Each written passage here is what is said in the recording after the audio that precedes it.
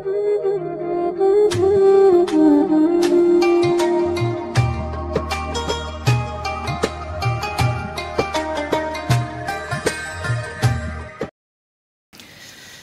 عليكم ورحمة الله وبركاته. الحمد لله وكفى والصلاة والسلام على حبيبنا محمد المصطفى. أرسله الله بشيرا ونذيرا. وداعيا إلى الله بإذنه وسراجا منيرا. وقال الله تعالى في القرآن العظيم قل إن كنتم تحبون الله فاتبعوني يحببكم الله ويغفر لكم ذنوبكم. صدق الله العظيم. وبلغ رسوله النبي الحبيب الكريم.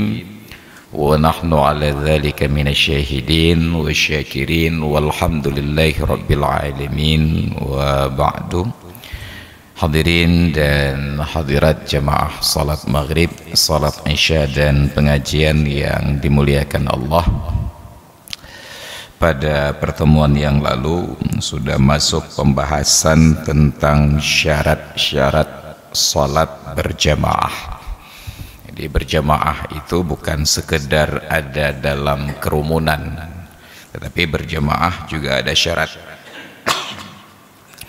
Makanya di dalam bab fikih setiap pekerjaan mukallaf asal ada terkait dengan hukum taklifi maka tidak terlepas dari hukum wadai.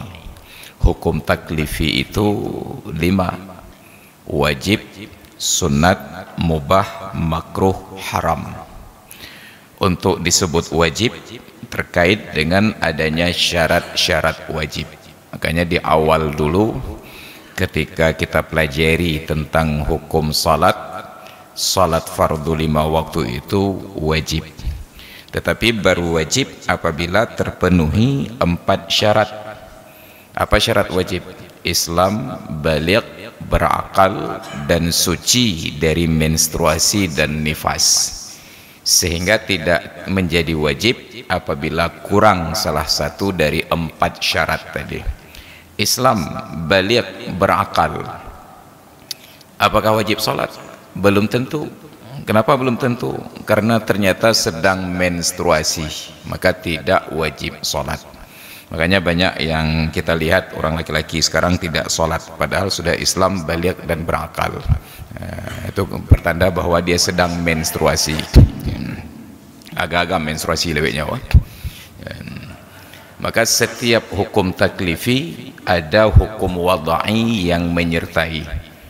Hukum wadai itu mulai dari sebab kemudian syarat kemudian mani' kemudian sah dan fasid sudah terpenuhi semua syarat sudah ada sebab ternyata ada mani' mani' itu penghalangnya uh, apakah sakit, apakah musafir, ataukah uzur-uzur yang lain. Gugur kewajiban. Demikian pula ketika disebutkan salat fardu lima waktu disunatkan berjamaah. Atas dasar pendapat sunnat muakkad seperti pernyataan Imam Syafi'i atau fardu kifayah seperti tarjih dari Imam Nawawi maka tentu ada syarat pula. Untuk sahnya berjamaah yang pertama ada niyatul iqtida niat ikut imam. Bukan hanya sebatas menyesuaikan gerakan dengan gerakan imam tetapi ada niat untuk mengikut imam. Sesuai saja gerakan tanpa niat bisa menyebabkan batal solat. Hanya menyesuai-menyesuaikan karena sudah berdiri di dalam saf tidak mengikut imam. Mungkin ada faktor-faktor yang lain ada ketersinggungan dengan imam sebelumnya. Ya, dia sudah berdiri dalam saf begitu selesai qamat ternyata yang muncul ke depan mengimami solat musuhnya alah kaji dan kimum mau keluar enggak enak mau ikut enggak nyenyak terpaksalah dia solat sendiri tapi enggak berani tampil beda dia sesuaikan gerakan sudah selesai baca Fatihah, sudah selesai berikut dengan baca surat, ternyata imam belum rukuk. Hana ngerti je? Gepreh ke? Intalal intidharu apabila lama durasi waktu penantian tersebut urfan secara uruf batal solatnya. Demikian pula sudah niat ikut imam tetapi tidak mengikuti juga batal. Niat memang niat ikut imam tetapi ketika imam rukuk makanya mentang gemaya-maya baca fatihah ke imam sudah bangkit untuk uh, i'tidal mentang slow-slow ke apabila tertinggal satu mendahului imam satu rukun berdosa salat tidak batal. Mendahului imam dua rukun batal apabila tidak niat farah tertinggal dari imam dua rukun uzur.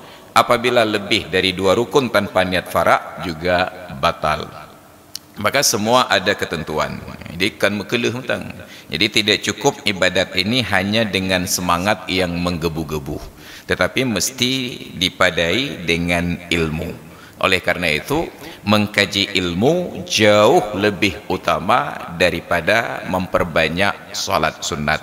Daripada memperbanyak puasa sunat. Makanya di bulan Rajab seperti ini, minyak kabu'o semayang sunat, kabu'o puasa sunat, baik bu'o bu'o. Nah, dimanapun ada pengajian, walaupun tidak lama, duduk ikut berpartisipasi. Karena Nabi tidak mensyaratkan durasi waktu dalam hitungan jam ataupun menit.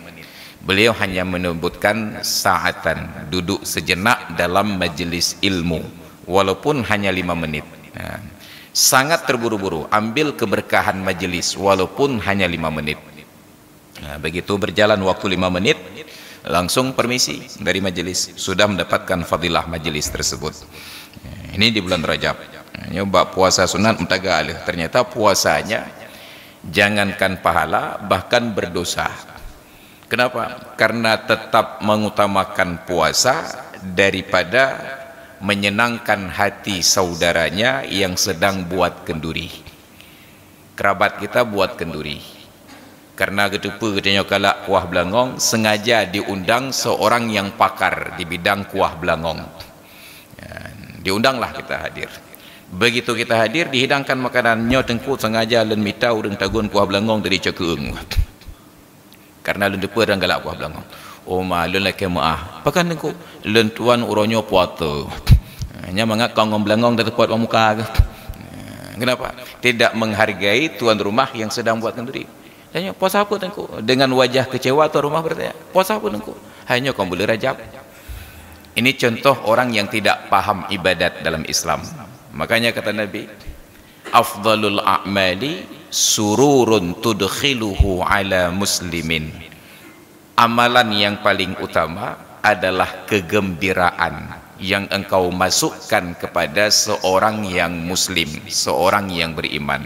Senang hati kanyan itu lebih utama daripada kita berpuasa tetapi mengecewakan saudara-saudara kita. Kecuali apabila puasa itu puasa wajib. Wajib kenapa? Boleh jadi qadha Ramadan ataupun puasa nazar kaui ataupun puasa kifarat. Itu beda halnya tapi kalau puasa sunat lebih utama berbuka puasa menyenangkan hati tuan rumah yang sedang buat kenduri daripada melanjutkan puasa. Tapi ternyata selama ini terbalik. Hai pakai nak baju tapun aku ilmu puasa. Yang kabu hendak merompok pahala nama ho. Pri tok dia. Maka ibadat perlu ilmu. Jadi bukan hanya sebatas semangat yang menggebu-gebu karena itulah guru-guru kita yang alim-alim itu terlihat malas ibadat. Bukan malas ibadat terlihat malas ibadat. Itunya kata yang sunat pula pingku ikutnya selo-selo madam. Kenapa? karena beliau tahu bahwa itu bukan momen yang tepat untuk salat sunat. Itu momen yang tepat untuk memuliakan orang lain.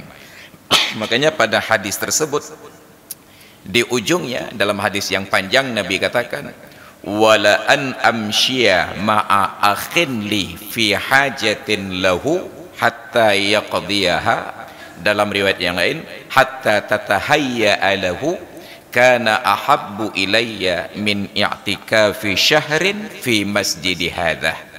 Sungguh aku berjalan dengan seorang kawan untuk menunaikan hajatnya sampai selesai. Lebih aku cintai daripada aku beriktikaf di masjid ini. Bukan masjid Al-A'la tapi masjid Nabawi. Lebih aku cintai daripada i'tikaf di masjidku ini selama satu bulan berturut-turut. Bayangkan makanya bulan-bulan Rajab begini baik duit rumah dong benih jalan. Melihat ada orang yang jalan kaki kita tawarkan tumpangan. Hojak pak. Kena jauh masjid lung bata zat hai pakan jauh dapat hai ke hana kenderaan bah lentat antarkan. Tapi pastikan posisinya aman. Jangan sampai istri orang lain ditawarkan antar. Terubah tujuan kamu pakai ngeleko niat baik tetapi disalahpahami. Ada tuduhan yang aneh-aneh. Antarkan dalam kemungkinan yang nyaman. Saya sering mencari fadilah-fadilah sederhana begitu. Tapi kadang-kadang sering konyol. Suatu ketika saya sangat teringat itu di jalan kebun rajanya kan hanya transportasi umum saya naik sepeda motor. Saya kalau udah naik sepeda motor tetap uh, pakaiannya itu lengkap. Pakai jaket, pakai sarung jero, pakai helm, kacamata hitam, oh depelah tengah uh, naik motor. Terlihatlah di depan komplek perumahan DPR itu ada seorang bapak-bapak sedang jalan kaki nenteng tas. Langsung saya merapat. Hmm, hojak pak. Oleh kering ni ngalen mentang beliau berfikir kenapa bahalun jak gerau mentang Tengah apakah nak tim? Eh, duduk waktu terjap duduk tengah. Kadang kepikir lah tukang RBT. Daripada bayar ongkos, bahkan kejap tepat. Betul. Tapi setidak-tidaknya, saya sudah menawarkan tumpangan. Niyatul mu'min khairun min amalihi. Niat seorang yang beriman kadang-kadang jauh lebih baik daripada amalannya. Satu ketika, uh, bulan Syakban, saya pulang dari kota, celana hitam baju putih lagi orang banwa bagawa hmm, pakai kacamata hitam. Ya, dengan mobil. Lewat Tanjung Selamat ke arah Cekeung terlihat ada nenek-neneng jalan kaki nenteng barang. Sekarang kenderaan sedang melaju cepat kehanjit tadi mendadak musibah kau? Ya, ya, akhirnya teruslah melaju. Kalau saya sengaja berhenti apalagi sampai mundur meri dacat hana maaf maka saya berhentilah di tempat orang yang jualan buah-buahan. Tidak jauh di depan. Berhenti. Sebetulnya hanya perlu belau kaya tapi hanya mencari dalih sambil menanti. Maka begitu sedang berbelanja kopiah ke bahagian motor. Oh dia belah dengar. Sampailah beliau. Saya tanya honja ni? Ya Allah rumah ni. Pak rumah? Cek keung ni. Oh. nuang alim macam. Berfikir je cik ni Ya, maka selesai dibungkus bawah, naiklah duduk di bangku tengah, saya di depan seperti transporter, ya, bagian tupi-tupi. Uh, maka dalam motor kan terjadi diskusi pembicaraan. Uh, Pak Jaka, dalam raya dia. Jadi bertanya lah beliau, ini suran akrab, dan part. Ya, beliau bertanya saya, suran kengkasan. Ini bandar Aceh, tang hana sulai lagi suran. Ya. Suran akrab, dan part. Dia cakap, Pak Jaka, Liko pekan. Badai ya? ya. Anak abu. Ya. Odron ko. Ya. Baru terkejut beliau. Hana mehi tengku melimang. Sampai ke di depan pesantren boleh minta turun di situ. Beliau ternyata sedang puasa sunat bulan Syaban. Abah lintas. Baik tengku bahin no mentang. Saya katakan lu minta pahala becut. Lu minta pahala, bukan pahala. Lu minta pahala becut. Ya, santarlah beliau ke tempat beliau itu bertambah jarak sekitar hampir 3 km saya antarkan beliau sampai ke depan lorong rumahnya. Enggak muat masuk mobil. Begitu turun bayangkan adab orang tua kita. Begitu turun beliau bertanya ke saya padu belum biongkoh nengko ini orang tua. Mereka tidak mau sesuatu yang gratis. Padu belum biongkoh nengko maka saya tidak putuskan harapan beliau saya katakan nama doa mentang kalian bermudah rezeki. Nah, maka berdoalah beliau dan turun. Bayangkan itu peristiwanya sudah hampir sekitar lima tahun yang lalu tapi kenikmatannya masih terasa sampai hari ini. Maka jadi cerita bawa dan ya, kenapa? Kenikmatannya itu masih terasa sampai hari ini. Ya, maka ada hal-hal sederhana. Jadi ibadat itu tidak melulu harus salat, i'tikaf, puasa, zakat, sedekah. Maka kata Nabi sungguh aku berjalan dengan seorang kawan. La an amshiya ma'a akhin li li aqdiya hajatahu. Sungguh aku berjalan dengan seorang kawan untuk menunaikan hajatnya. Dalam riwayat yang lain hatta tatahayya alahu sampai perkara itu selesai baginya ahabbu ilayya lebih aku senangi min i'tikafin daripada i'tikaf syahrin satu bulan fi masjid hadha di masjidku ini. Ya, maka bayangkan pegawai yang masuk kantor itu melayani masyarakat digaji lagi. Jam 8 masuk jam 5 pulang. Tiba-tiba diganti dengan zikir. I'tikaf si bulan menggantau dengan zikir setengah jam. Maka bang air hadanya ternyata setelah zikir diganti lagi dengan senam pagi. Ini lebih paak lah makanya pegawai tidak digaji untuk senam pagi. Pegawai tidak digaji untuk duduk berzikir. Pegawai digaji untuk melayani. Apabila pelayanan tersebut dinikmati bukan karena gaji maka sungguh gaji tidak menghalangi pahala. Tapi bila kualitas pelayanan diukur-ukur dengan gaji maka sungguh tidak berpahala boh pun rajin-rajin tak ada kerja. Gaji eh no tahu maka pahalanya hanya sebatas gaji. Tidak ada pahala di akhirat. Maka seharusnya ketika jadi pegawai nikmati gaji kita sudah dijamin oleh negara yang perlu dipertimbangkan manfaat apa yang bisa ditambah. Bukan dalam bentuk materi tapi dalam bentuk pahala. Nyan pahala tamah cidera tamah karena warga masyarakat yang datang ke kantor itu dalam keadaan bingung nyoho lunjak. Ngonsol lumrumpo pelem pegat. Ketika pikirannya sedang galau tiba-tiba disapa oleh seorang berbaju dinas. Uh, honjak apa coba bayangkan andai kata kita dalam posisi beliau. Honjak apa sapaan itu saja sudah memindahkan setengah beban. Oh lenjak uruhnya tak oh bah bentuk walaupun itu bukan bidang pekerjaan kita maka sungguh sangat saat membantu yang pertama dapat fadilah ibadah lebih dari sebulan i'tikaf. Yang kedua kamu tamah cidarah. Hanya menankan duri mulut uku kamu tamah undangan. Ya.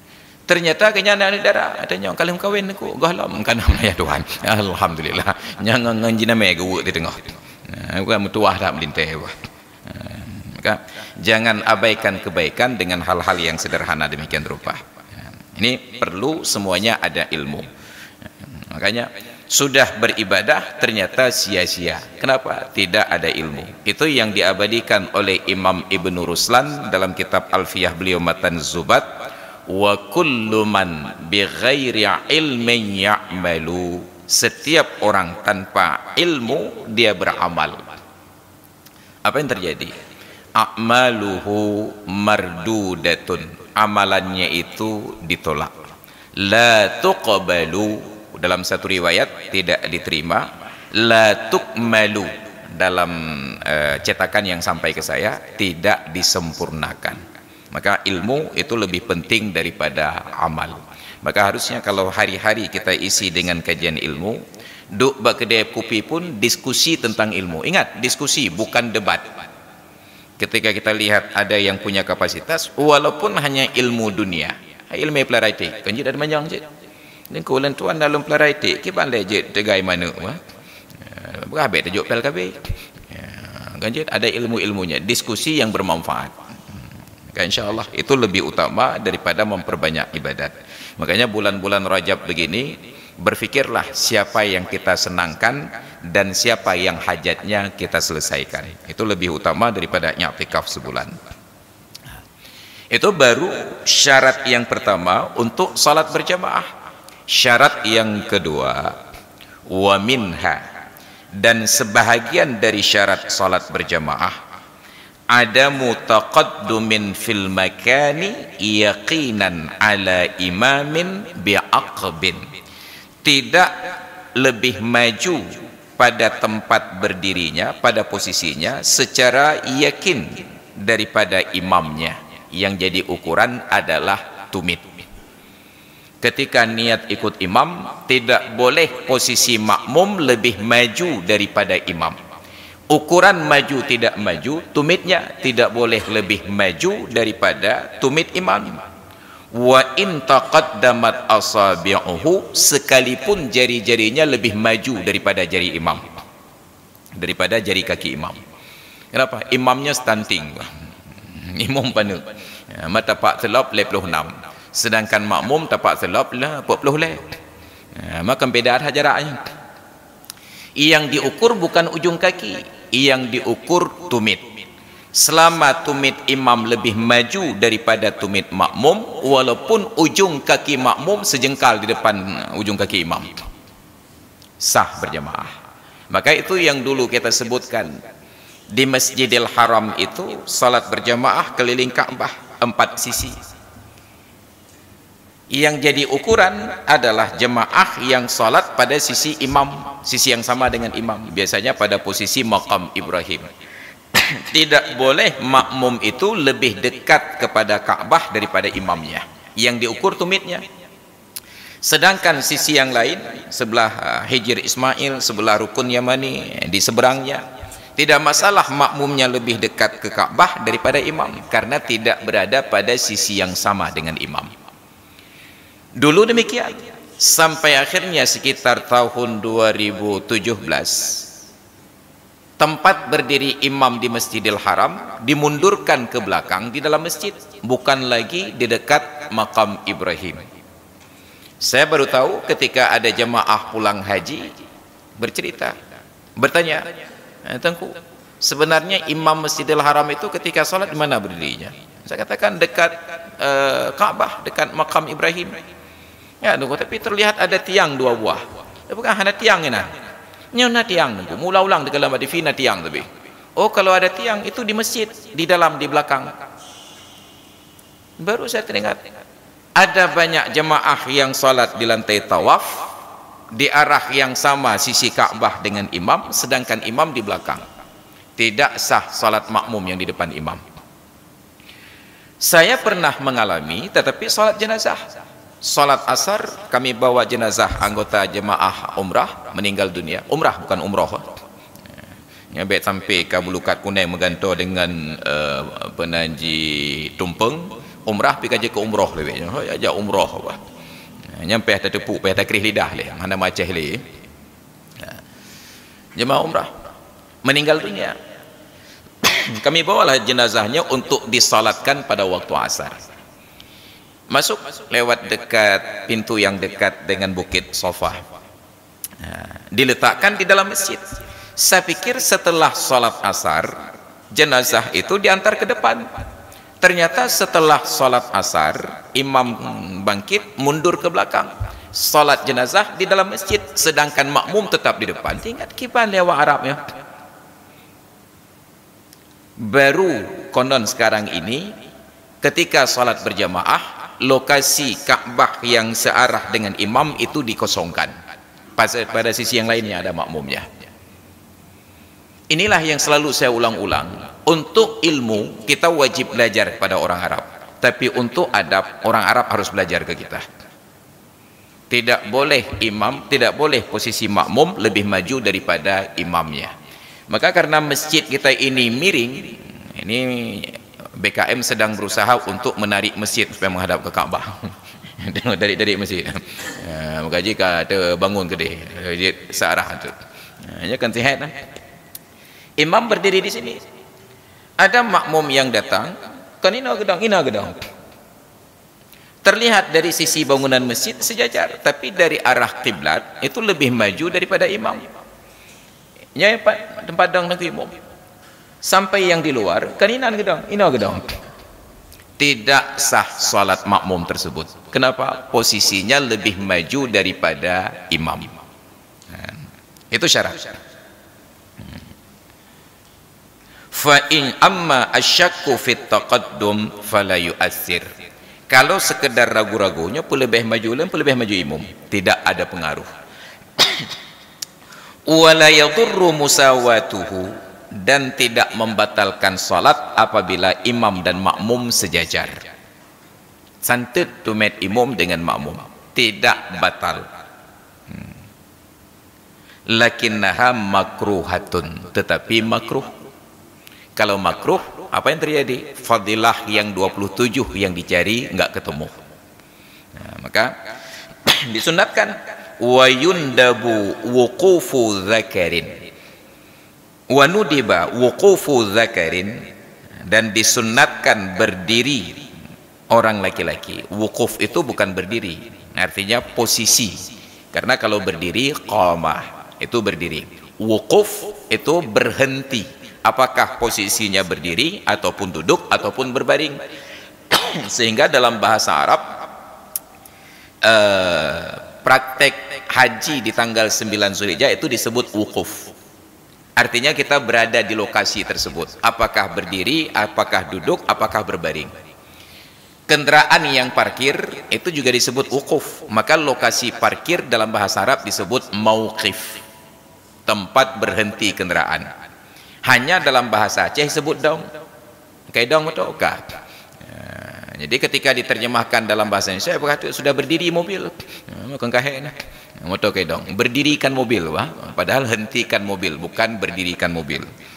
Bahasa Indonesia cekung kemudian hmm. ya. Disunatkan posisi laki-laki walau sabiyan sekalipun laki-laki itu sabi. Sabi itu dalam bahasa kita balita bawah lima tahun. Becat anak banyak itu menunjukkan sah salat berjamaah dengan anak kecil. Hai gah lam balik tengku walaupun gah lam mumayyiz tengku sekalipun. Sabiyan sabi dalam ukuran fikih itu di bawah tujuh tahun. Kalau balita bawah lima tahun. Eh, mamanya bawah tujuh tahun apa ya? Batuta bawah tujuh tahun. Ya. walau sabiyan sekalipun anak kecil lam yahdur ghairuhu yang tidak hadir orang lain. Empat gedang an yaminil imam di sebelah kanan imam. Kalau hanya seorang saja apakah seorang itu laki-laki dewasa? Apakah seorang itu laki-laki remaja? Apakah seorang itu balita? Kalau hanya seorang berdiri sebelah kanan imam. Wa illa ternyata dia tidak berdiri di sebelah kanan imam. Gedang tu belahwi sunnat tahwiluhu lil ittiba. Sunat menggesernya ke sebelah kanan karena mengikuti praktek Nabi sallallahu alaihi wasallam. Ai wa in lam yaqif ala yaminihi apabila dia tidak berdiri di sebelah kanannya bi an waqafa ala yasarihi misalnya dia berdiri sebelah kiri imam sunna lil imami tahwiluhu min ghairi fi'lin kathirin. Maka sunnat untuk memindahkan posisinya tanpa melakukan pekerjaan yang banyak. Kalau banyak pekerjaan nanti batal solat imam. Dengan tidak melakukan pekerjaan yang banyak. Dalam kitab Mughni fa in waqafa an yasarihi aw khalfahu bila makmum yang seorang ini berdiri sebelah kiri imam atau di belakang imam nyepat tempat dang tengku imam inan gedang satu saf di belakang imam. Atau di sebelah kiri imam. Hmm. hokam dong misalnya dia berdiri di sebelah kiri atau sebelakangnya sunnalahu ayyandara ma ajtina bil af'alil katsirati maka disunatkan bagi imam untuk memutar makmum tadi dengan menghindari pekerjaan yang banyak fa in lam yaf'al maka apabila tidak dia lakukan demikian sunnah lil imami tahwiluhu sunnat bagi imam menggeser makmum itu ke sebelah kanan lil ittiba karena mengikuti praktik Nabi sallallahu alaihi wasallam. Ya. Apa yang disunatkan? Yang pertama sunat berdiri sebelah kanan, yang kedua sunat menggeser yang dari kiri ke kanan. Ya.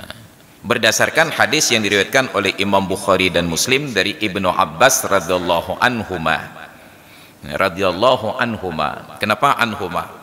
Karena doanya untuk Abbas dan untuk anaknya maka disebut anhuma sedangkan Sayyidina Umar ataupun Abbas tidak disebutkan radhiyallahu anhuma karena ayahnya Abbas tidak masuk Islam dan ayahnya Umar tidak masuk Islam sedangkan Ibnu Umar dan Ibnu Abbas disebutkan radhiyallahu anhuma. Karena beliau sahabat dan ayah beliau juga sahabat masuk Islam.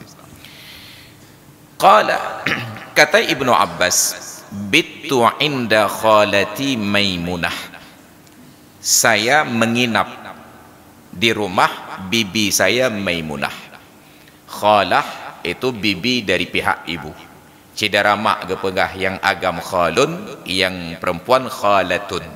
Cidara yah yang agam ammun yang perempuan ammatun. Itu dalam bahasa Arab maka jelas cidara retoh sedangkan di Indonesia handa tu oh cidara retoh nyan soyan yahwa payah tadi yang yahwa retoh yahwa ret mak uh, tapi dalam bahasa Arab langsung beri. Nyan soyan ammi berarti cidara rayah nyan soyan khali cidara ret mak ini dari bahasa Arab langsung berbeda retoh cidara Itanya hana payah takalan silsilah le. Payah tanya. Khalati bibi saya cidara rat mak. Siapa beliau? Maimunah, istri Nabi. Maimunah bintil Haris Al-Hilaliyah. Fanama an-nabiy sallallahu alaihi wasallam faqama an-nabiy sallallahu alaihi wasallam yusalli min al-laili maka bangunlah nabi sallallahu alaihi wasallam salat malam. Faqumtu an yasarihi. Lalu aku bangkit berdiri di sebelah kiri nabi. Ikut berjamaah dengan nabi. Tapi lendang belah bukan waktu itu ibnu abbas baru berusia sekitar 7 sampai 8 tahun nyan anak mit zaman kalangan para sahabat memantau bagaimana gerak-gerik ibadat nabi karena tahu nabi menginap di rumah bibinya bibi uh, Abdullah ini maka Abdullah ikut numpang menginap hanya untuk melihat bagaimana ibadat Nabi. Sedangkan anak-anak kita sekarang melihat kita menginap di rumah kerabat, dia ikut menginap hanya untuk ikut nonton TV. Ha, kan ibadat. Hanya kepantau ibadat Nabi. Padahal sudah tidur. Bangun lagi hanya untuk mengikuti ibadah Nabi. Gedang terbelahwi. Faqumtu an yasarihi. Aku berdiri di sisi sebelah kirinya fa akhadha bi ra'si fa hawwalani an yaminihi maka nabi pegang kepala saya dan beliau palingkan saya ke sebelah kanannya itu nabi sedang solat nabi solat sendiri tiba-tiba bangun ibnu abbas beliau ikut berjamaah dengan nabi solat di sisi sebelah kiri nabi pegang kepala ibnu abbas getulak belah hundan pertanyaannya nak khusyuk semayang nabi Ini yang bertanya aja. Nak khusyuk sama yang Nabi? Khusyuk. Tapi khusyuk bukan berarti hilang kesadaran terhadap lingkungan sekitar. Nyo na urung wati semayang rumah ka tutung kena gede-gede. Oh kan khusyuk lah. Oh kangoh baru jaga. Maka khusyuk yang kita pahami itu salah kaprah. Khusyuk bukan berarti hilang kesadaran. Khusyuk itu justru makin meningkatkan kesadaran. Makanya orang khusyuk tidak lupa rakaat. Nya menyenda orang hai pakan je lebih rekat aku kau bak khusyuk dah bukan nya kan khusyuk. Ya bak menghayal detat ya. jadi khusyuk bukan hilang kesadaran. Justru khusyuk itu meningkatkan kesadaran. Bukan hanya tentang diri tapi tentang lingkungan. Bayangkan nabi salat jadi imam beliau percepat bacaan di dalam salat hanya karena mendengar suara tangisan anak-anak di belakang. Nya nak khusyuk nabi? Menyawatannya hal khusyuk mana nak tengok semayang kita mai dengar kau mau padahal justru standar solat Nabi adalah standar yang paling tinggi. Tapi sekarang ada standar yang lebih tinggi. Makanya kita selalu menjaga solat berjamaah di awal waktu. Berapalah gajimu sampai engkau tinggalkan solat berjamaah di awal waktu makanya saya khawatir jangan-jangan di akhirat nanti surga kita lebih tinggi daripada surga Nabi. Ya, lebih taat dengan Nabi. Maka hei fikir kan? Ya. inilah dakwah yang salah kaprah. Maka dakwah itu mengikuti standar Nabi. Makanya tadi saya baca di awal Qul in kuntum tuhibbunallaha. Katakanlah wahai Muhammad bila benar kalian mencintai Allah fattabi'uni. Maka ikuti saya yuhibbukumullah wa yaghfir lakum dzunubakum pasti Allah akan cintai kalian dan Allah ampuni dosa-dosa kalian tapi sekarang dakwahnya mengajak kepada standar yang lebih tinggi daripada standar Nabi nyopula ulok syariat jadi bukan berarti kita ingin menggampang-gampangkan perkara solat. Tapi ikuti standar Nabi. Ada awlawiyat. Salat berjamaah tidak mesti di awal waktu. Lihat fadilah-fadilahnya. Kalau memang tidak ada kegiatan, sudah berkumandang azan, datang ke masjid. Oh ternyata yang imam di awal waktu, toke chip, tunda dulu. sampai nanti uh, Dr. Edi yang jadi imam Eh bukan nak yang lem lempreh Dr. Edi Saputra bukan. Eh para dah jemaah. Nya kerame jemaah kanya mendum. Agi-agi cip mendum. Menunda solat berjamaah ke tengah waktu bahkan ke akhir waktu untuk menanti seorang imam yang soleh lebih utama daripada solat di awal waktu dengan imam yang fasih. Jadi kan saya kaibang tak grup-grup tak jojo. Lihat-lihat dulu keadaan.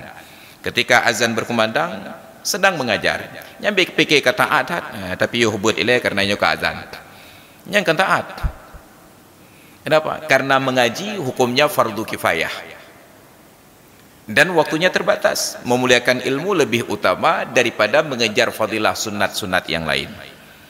Tapi orang selalu menggugat panen adayahnya buat waktu put jum tapi teman yang siapa si kurang fikir yang teman yang siapa lapan kagak tak Ha, padahal sengaja solat isya pukul 8 pakan. Dia mengata duduk nonton TV tengok mana tu perkara boleh. Ternyata tujuannya bukan mencari rida Allah supaya nanti nonton sinetron tidak terganggu lagi oleh solat. Hmm, maka hilap ya makanya yang solat isya bulan Ramadan pukul 8 dia fikir taat taknya yang solat isya dan terawih pukul 8 bulan Ramadan ni ceritanya rata-rata apa kan mengkarata anak pokok aja saya kali terawih kat tenang dia ada duduk kedai kopi i'tikaf hatta matla'il fajri kaman ini yang saya dobrak selama ini. Jadi kita percepat salat Isya, percepat salat tarawih dan witir agar bisa segera i'tikaf di warung kopi hatta matla'il fajri. Kenapa tidak diganti posisinya? Silahkan i'tikaf dulu di warung kopi sampai jam berapa? Karena rata-rata orang yang puasa itu belum ngopi sejak dari subuh. Orang Aceh nyahan aja kopi hampah ke? Maka aja kopi yang enggak baik pungo. Ya, jadi aja kopi lah. Maje kopi paling trip kon 2 jam yang kali tamu empat ada tago eh. dua jam nah, maka tawarkan kalian yang di Banda Aceh ini mau nongkrong di warung kopi sampai jam berapa oh kami sampai jam 10 saja pak oke silahkan buka warung kopi sejak menjelang berbuka sampai jam 10 yang mau bekerja cari nafkah silahkan dari sejak ber, berbuka sampai jam 10 tapi jam 10 tutup semua tempat usaha. Pilihan tinggal dua. Yang mau ibadat silahkan ke masjid. Yang mau istirahat pulang ke rumah. Yang menyelagainya kepegat kebijakan oleh pemerintah Aceh tidak ada pegawai yang siang hari mengantuk-ngantuk ya tidak kalian cak urau belum puasa tapi mentengah-mentengah bahkan mentengah puasa pertanyaannya sejak kapan orang lapar mengantuk yakinlah kalau ada orang mengantuk siang hari bulan Ramadan bukan karena puasa tapi karena malamnya enggak tidur Orang-orang lain kena cek puasa sunat, hana agam dengar. Karena malamnya normal, kita tidur. Bulan Ramadan, enggak ada yang tidur malam. Yang duk berkedai kopi, geduk berkedai kopi. Yang kena war rumah, kena tengut, kamu sumik ke masjid. Mengaji dengan uh, suara tinggi, mengganggu orang yang istirahat. Maka bawaan waktu siang mengantuk.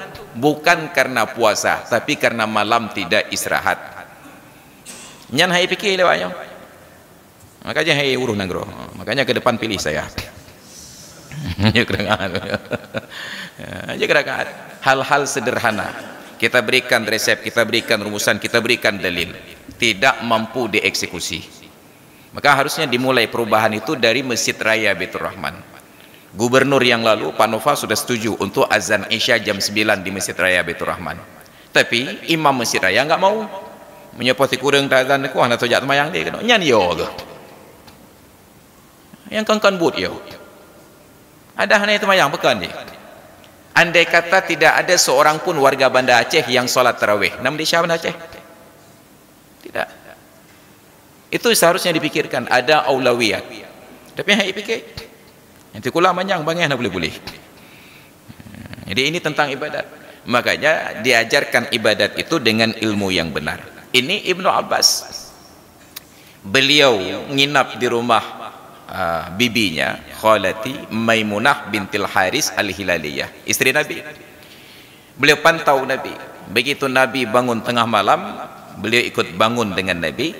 Nabi salat beliau salat ternyata berdiri sebelah kiri Nabi dipegang oleh Nabi di kepala digeser ke sebelah kanan. Itu sedang salat dan itu khusyuk. Maka baik fikir khusyuknya kah nak getegera oleh Nyahana ketegera kau khusyuk pingsan ataupun sawan. Mutaakhiran anhu qalilan. Posisinya di sebelah kanan imam agak mundur sedikit. Apa ukuran mundurnya? Bi an tataakhara asabi'uhu an aqbi imamihi. Dengan gambaran uh, lebih mundur jari-jari kaki makmum ini daripada tumit imamnya. Maka posisi salat berjamaah seorang imam dan seorang makmum bukan ini kaki imam ini kaki makmum. Kalau ini kaki imam ini tumitnya makmum di sini. Nya ramai dalam lewatnya Watai gedang jamaah ke mana tahu dua ke? Kita enggak tahu ini sedang berjamaah Atau sedang bertanding. Makanya ketika membaca ayat Membaca hadis Tidak cukup hanya dengan logika kita. Perlu syarahan Perlu ulasan dari para ulama Dari berbagai perspektif jadi tidak cukup menjadi alim itu hanya karena kemampuan menerjemahkan bahasa Arab ke bahasa Indonesia. Perlu ilmu-ilmu pembanding, perlu kaidah-kaidahnya. Jadi kita baca dari ulasan para ulama. Jadi posisi seorang imam, seorang makmum, andai kata ini telapak kaki, ini tumit, maka makmum berdiri, ujung jari kaki makmum itu di belakang tumit imam. Itu ketika makmumnya satu, seorang. Laki-laki. Wa kharaja bidzakari al-untha. Maka keluar dari keterangan laki-laki tadi, perempuan. Perempuan tidak demikian fataqifu khalfahu ma'a mazidi ta'akhurin maka yang perempuan jadi makmum imamnya laki-laki posisi perempuan yang makmum ini berdiri di belakang imam dengan sedikit ditambah lebih jauh nyepat tengku imam. Kalau perempuan yang jadi makmumnya bukan sebelah kanan imam bukan sebelah kiri imam tapi satu saf di belakang imam ma'amazi di ta'akhur beji'uh macam tu. Dan hanya mungkin terbayang salat berjamaah seorang imam laki-laki dengan seorang makmum perempuan apabila mahram ataupun suami isteri nyan bet na rencana untuk warga gampung pernah jecat masjid. Gejak semayang berjamaah kena tengku edi fira gedang imam gejak ibu-ibu lain gedang tu ikut gejak. Nyan khalwat. Kenapa? Berdua-duaan laki-laki dan perempuan yang bukan mahram di tempat yang sunyi walaupun motivasinya berjamaah. Ya, tapi nya kahit terfikir Aceh yang bersyariah ini bahkan pacarannya pun pacaran syariah. Ya temayang jamaah dua Romeo je ke imam Juliet je ke makmum mai dia fikir itu pacaran syariah apakah? Dan itu enggak masalah. Karena di Aceh menurut fatwa menurut menurut saya gambarkan ada restu dari ulama-ulama di Aceh. Dan dah nak gabuk mesti Hana menggok-gok istana MPU itu ketika melihat betapa banyak Romeo dan Juliet berpeluk-pelukan di atas kenderaan di ruang terbuka di Aceh. Medih ada hana betuk ke Graham kena tiga kok. Nyamu teruk tang ke. Ngapa buat eh? Yang penting sesuai tupoksi. Tambahkan tu okey boleh terima gaji. Mai je kerakat. Ini betul bang kota MBU. Hmm. Baik kalau gelak nama kenan. Enggak ada tanggungjawab untuk syariat sama sekali. Nauzubillah. Mata kedilan mau kenal lagi nyanci. Hmm. Hai kata terima gaji kan jeli tak ada apa. Nanti kata itu. Ini persoalan kita. Tidak ada yang peduli. Jadi jangan bayangkan bahawa itu sudah syariah. Tidak, itu adalah khalwat. Jadi hanya mungkin terbayang seorang imam laki-laki dengan seorang makmum perempuan apabila ada hubungan mahram. Anak jadi imam, ibu jadi makmum, abang jadi imam, adik jadi makmum, adik jadi imam, kakak jadi makmum. Yang baik kakak jadi imam, adik jadi makmum. Yang kacau kan. Ada butuh kakak tetap inong.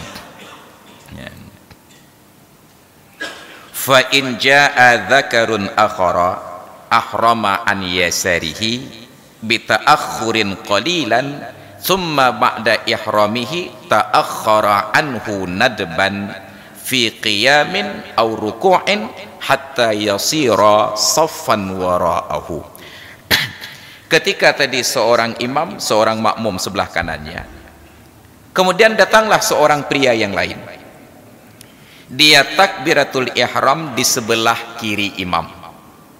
Benar makmum lahunan datang seorang pria yang lain di mana dia solat? Berdiri sebelah kiri imam takbiratul ihram. Setelah takbiratul ihram hmm, ta'akhkhara anhu nadban. Disunatkan kedua-duanya mundur ke belakang. Kapan waktunya? Fi qiyamin pada posisi berdiri au ruku'in atau pada posisi rukuk sehingga kedua orang laki-laki yang jadi makmum ini jadi satu saf di belakang imam. Nagi cukai? Ana kan? Dong aja nyapa cik dia eh cukai. Cukai. Cukai itu bukan ketentuan. Hanya nanti ketentuannya ketika dia berdiri sendiri di belakang maka disunatkan untuk cukai cukeh itu pun dilakukan setelah takbir bukan sebelum takbir. Dan itu juga harus memperhatikan be'ruh dicukeh hurung letah mana tu cukeh? Hop kakak colom itu be jujur saya dan orang yang dicukis sunat untuk membantu. Apa membantu? Mundur ke belakang untuk ada kawan. Jangan dia berdiri sendiri di belakang saf. Jadi sebelah kanan satu orang ketika sedang solat datang yang lain dan belahwi setelah takbiratul ihram bila masih posisi berdiri atau sedang dalam posisi rukuk sunat kedua-duanya mundur ke belakang itu harus ada kesepahaman Habis ente tanya kata tim teruk kena gedang kena gerau. Enggak payah maju lah. mundur ini tidak wajib. Nadban sunat mundur. Mana kita mundur? Yang kena pejabat di Indonesia. itu mundur. Maju mentang payah apa gimana mundur. Ya, sunat mundur. Andai kata tidak mundur tetap sah solatnya. Tetap dapat fadilah 27 cuma berkurang pahala sunat berdiri satu saf di belakang imam. Wa wuqufu rajulaini jaa ma'an. Dan untuk dua orang laki-laki yang datang secara bersamaan au rijalun atau au rijalin atau beberapa orang laki-laki qasadul iqtida'a bi musallin yang berniat yang berkasad bermaksud untuk mengikuti orang yang sedang solat. Ini bukan jamaah dari awal. Ada orang datang ke masjid sedang solat duhur seorang diri. Lalu datanglah dua orang pria yang lain atau lebih. Secara bersamaan mereka ini berdiri khalfahu saffan berdiri di belakang imam satu saf. Kalau dua orang datang sekaligus oh padat nah tipulan dengan sembahyang. Langsung berdiri di belakang satu saf. Wa nudiba wuqufun fi saffi awwalin dan disunatkan berdiri pada saf yang pertama. Maka hendak dekah tentang cukai benar. Langsung berdiri satu saf di belakangnya. Takbiratul ihram dan ikut imam. Dan disunatkan berdiri pada saf yang pertama apa itu saf yang pertama? Wa huwa ma yaliyal imama yaitu saf yang mengiringi imam. Ini imam itu mengiringinya. Itu saf yang pertama. Wa in takhallalahu mimbarun sekalipun diselangi oleh mimbar. Gedang tengku imam nyepat. Mimbar inan ke pedang. Maka saf yang belakang imam belah deh saf yang pertama, meten mekaleng dengan mimbar ubin raya. Belah deh saf yang pertama wa in takhallalahu mimbarun aw amudun ataupun tiang. Dum tameh dengan mimbar mekaleng tidak putus saf. Tiba-tiba ada fatwa di Aceh idang ada mitra putus saf. Yang pandai dibik pendapatnya. Seindah apapun mimbar tidak ada perintah kepada mimbar untuk salat. Sebagus apapun tiang tidak ada perintah kepada tiang untuk salat yang ada salat adalah tiang agama. Jadi kan, kan tiang itu semayang tapi semahyangnya njit ke tiang. Tapi seburuk apapun anak-anak ada perintah untuk salat. Muru auladakum bis salah wa hum abna'u sab'in. Suruh anak kalian untuk salat ketika usianya mencapai tujuh tahun maka kalau kita ajak anak-anak ke masjid ingat ajak anak-anak ke masjid bukan menyuruh anak-anak ke masjid. Selama ini yang terjadi menyuruh anak-anak ke masjid. Yang kembut kan? Ajak anak-anak ke masjid. Usahakan yang sudah berusia tujuh tahun. Atau boleh di bawah usia tujuh tahun tapi diadar, diajarkan adab-adab masjid. Makanya malam kemarin maghrib saya menuju ke Pungai Blangcut uh, siapa tahu uh, radio Betul Rahman menjelang qamat ai yang ambil dalam masjid.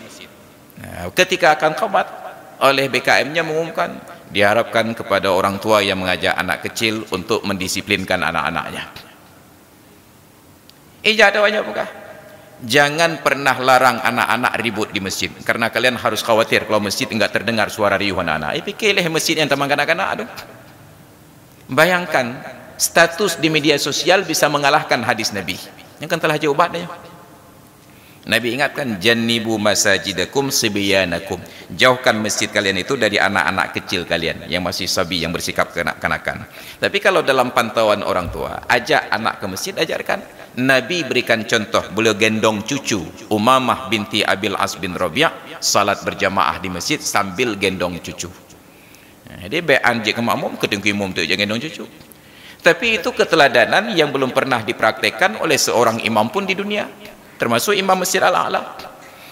Hanya menyuruh Ustaz Edi untuk waktu semayang isya ke tingku anu kita nyong le ketua BKM pun. Rencana ke imam dalam tingku nak rencana puan anu lewa